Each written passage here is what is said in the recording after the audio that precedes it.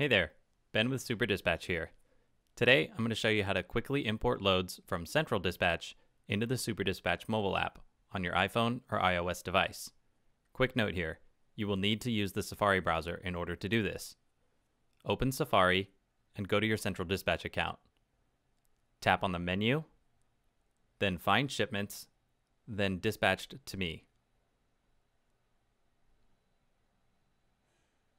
Once you've located the load that you need to import into Super Dispatch, tap View, then tap Print.